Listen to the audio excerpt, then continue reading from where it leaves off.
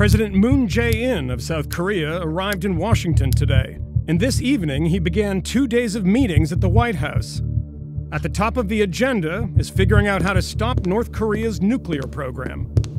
Neither country currently has a proven strategy, but even if they can agree on a way forward, an even more daunting step may lie ahead direct negotiations with the North Koreans themselves.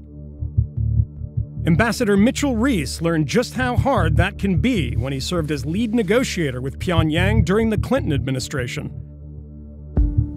The key difference is the vast cultural gulf. The isolation is significant. What that means in terms of day to day negotiating is that you have to proceed through three different sets of traps.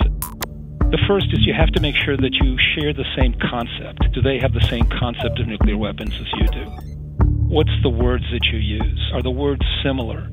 And that's where you then get down to the, the final level.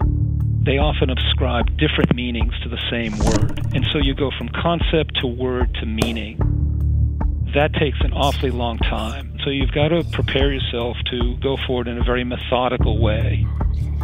You can't make assumptions that there's similar cultural touchstones or reference points. They're extremely sensitive about any references to their leadership. Often in these negotiations, there was a member of the security force watching what they said, watching how they behaved, and reporting back to the capital. they don't always have the flexibility or the freedom to say or act the way one would assume.